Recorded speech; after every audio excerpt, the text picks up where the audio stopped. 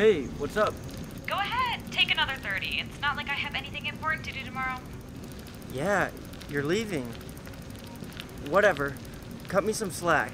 My boss extended my shift so he could cheat on his miserable wife with some equally miserable girl 20 years younger than him. Fine, just get your ass over here. I'm gonna give you another 10 minutes. If you're not here by then, you're fucking dead to me. Be there in five. I'm not trying to get my ass beat like at the homecoming after party. You should be afraid of my shit. My roommate is FaceTiming me. I'll see you in a bit. Okay, bye.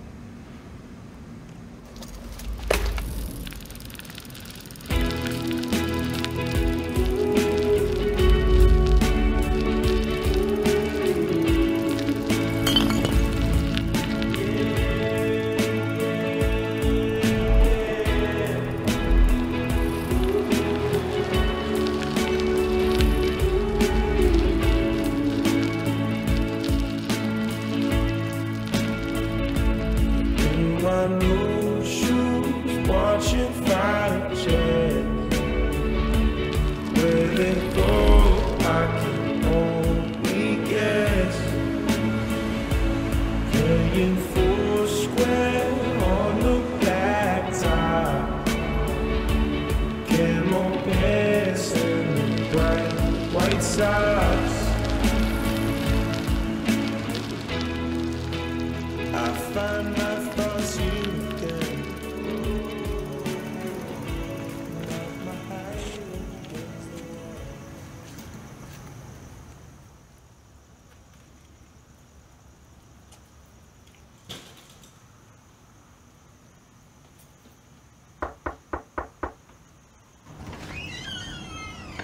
told you I'd get here in five. Guess I don't get to beat your ass today.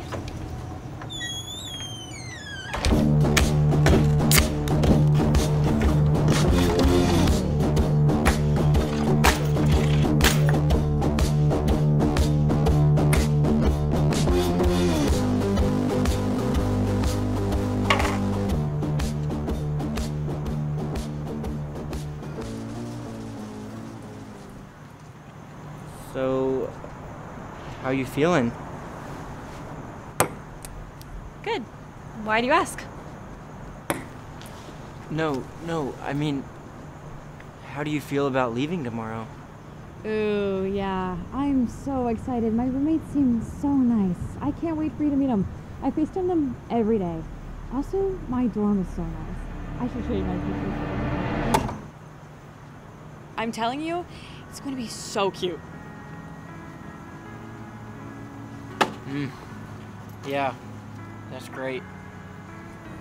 I'll FaceTime you all the time. Don't worry, I won't forget about you. Yeah, I'm gonna go start the fire.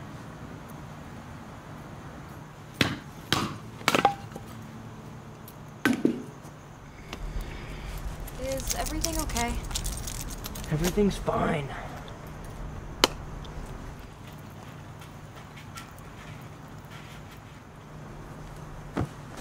No, you're not fine. You always fiddle with your keychain whenever you're pissed off.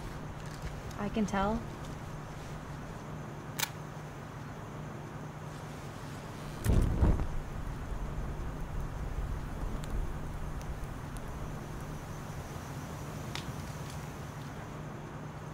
Please, tell me what's wrong. Since you're so concerned, yeah, I'm pissed. While you get to go off to college to have the time of your life, I have to stay behind in this shit town and see shit people and deal with my shit parents all the fucking time. Hold on. Where is this coming from? You say you won't forget about me, but I I know how this works. You go off to college, you meet Brad from Psych 101 or Ava from Chi Omega, and you get drunk with strangers and you get lost in the city and you get to move on and you get to forget.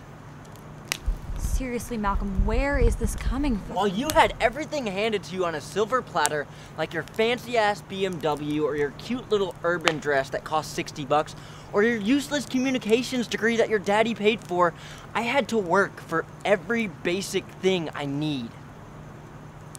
That's your issue, Malcolm. You have no right to be angry at me because I happen to be one of the lucky people to leave this place. You think you're special.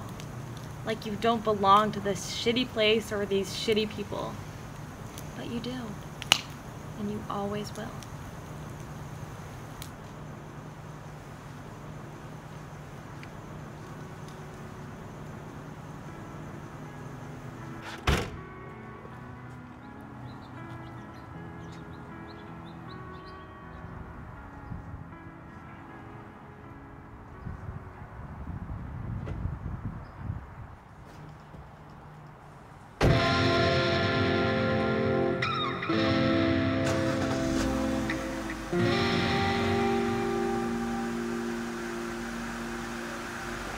Thank